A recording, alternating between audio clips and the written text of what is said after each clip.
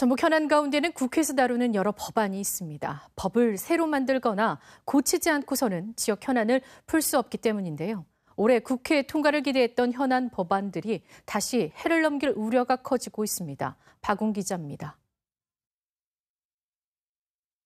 광역시가 없는 전북을 대도시권에 포함해 광역교통시설을 설치할 때 국가 예산을 지원받을 수 있도록 하는 이른바 대광법 개정안. 전주, 익산, 군산 등을 중심으로 한 교통 수요 증거와 균형 발전 필요성 등을 이유로 내세웠지만 국회 국토교통이 법안 소위에 계류된 채 논의는 한 발짝도 나아가지 못하고 있습니다. 전라도는 21대 국회가 끝날 때까지 희망의 끈을 놓지 않겠다고 밝히고 있지만 전망은 그리 밝지 않습니다. 특자도도 이제 뭐 출범을 하고 아마 그 내년 초부터는 대광법의 아마 그 개정에 저희들 최대한 노력할 할 것입니다. 옛 서남대 의대 정원을 활용한 남원 국립의전원 설립도 안개 속입니다.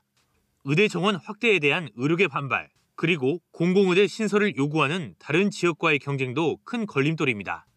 법안은 20대 국회 때 폐기됐다가 21대 국회에서 다시 발의됐지만 이번에 상임위 단계를 넘지 못하면 또 폐기될 공산이 큽니다. 민주당 전북 의원들은 단독으로라도 처리하겠다며 배수진을 치고 있지만 결과를 낙관하기는 힘듭니다. 공공의대 관련해가지고는 단독 처리라도 현재 우리 내부 분위기는 그렇게까지 형성은 돼 있고요.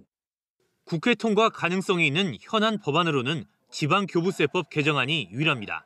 인근에 원전이 있는 고창과 부안 등 기초자치단체에 정부 예산을 지원하도록 하는 내용인데 국회 행안위 문턱을 넘어 그나마 가능성을 키우고 있습니다. 법안 처리를 위한 국회 본회의는 오는 28일과 다음 달 9일 예정돼 있습니다. KBS 뉴스 박궁입니다.